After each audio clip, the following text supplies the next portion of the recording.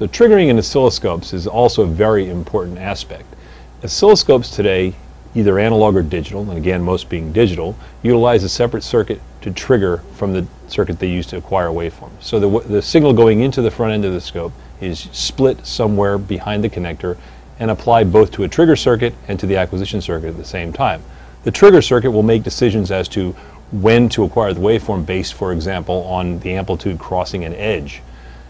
The difficulty with having a separate trigger circuit is that both the trigger circuit and the acquisition circuit have different bandwidths, different sensitivity, and different characteristics. And this gives rise to two phenomena that is often viewed in triggers. The first thing is called trigger jitter, where the positioning of the edge that caused a trigger moves on the screen from acquisition to acquisition.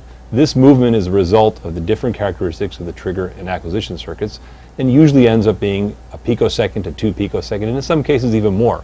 And this can cause what looks apparently like jitter on the signal, but actually it's coming from the trigger circuit and not from the signal. So in order to show this, we have a Rohde Schwarz RTO set up with a uh, 1 gigahertz sine wave from a Rohde & Schwarz SMB 100A generator. I'm going to set the level of the signal to minus 2 dBm just to get it full scale on the screen. And so now we're looking at a full scale sine wave on the, uh, on the oscilloscope screen. And I'll adjust the time base out so we can look at one of the edges of the sine wave. So just changing the time base. And we're looking at one edge. Now we've chosen an edge trigger here. So a simple signal crossing a threshold um, to trigger the oscilloscope. Now the trigger system in the Rohde & Schwarz RTO oscilloscopes is a digital trigger. That means it takes the signal acquired by the A to D converter, that is the same signal that's being viewed on the screen, and utili utilizing digital hardware, it applies a trigger to the digitized waveform. This has two advantages. Firstly, it virtually eliminates trigger jitter because we're now we're triggering on exactly the same waveform that we're viewing on the screen. Secondly, it has the ability to, to achieve very high sensitivities. One of the issues that's often found uh, with tra traditional analog uh, trigger circuits is that the sensitivity versus frequency of the trigger circuit is different than that on the scope.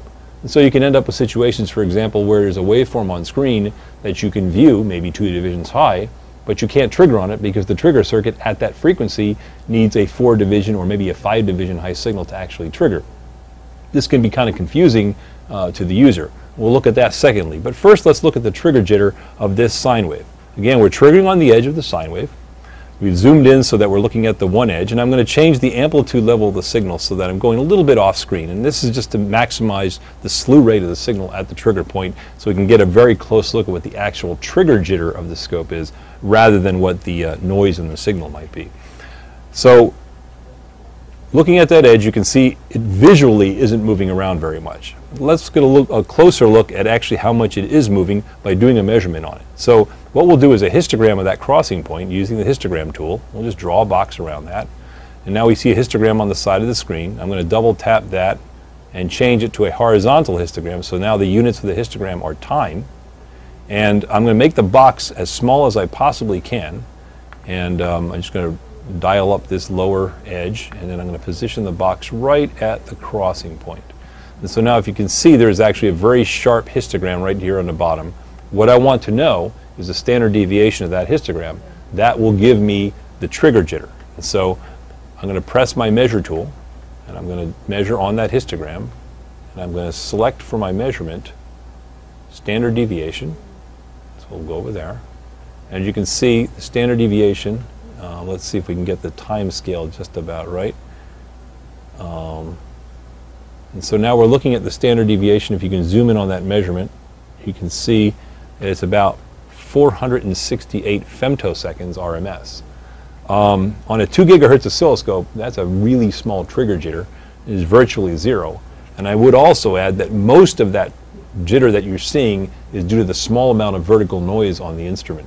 And we're using probably the most challenging signal to trigger on, that being a sine wave, because its slew rate at the crossing point is extremely slow uh, relative to the uh, frequency of the signal.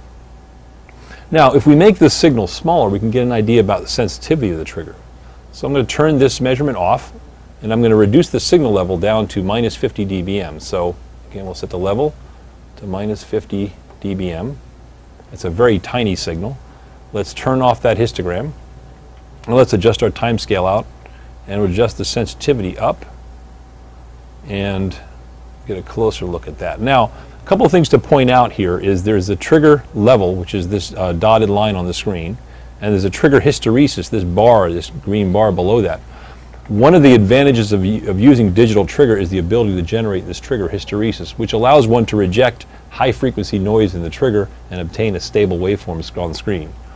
I'm going to adjust the hysteresis of the trigger so that it's much smaller and I'm going to do that relative in terms of divisions and I'm going to set that hysteresis to oh, maybe 0.05 divisions or so and I want to set my trigger to normal mode and now what you're seeing here is a signal triggered and reliably triggering on a very small, this, in this case, this signal is a millivolt, two millivolts peak to peak.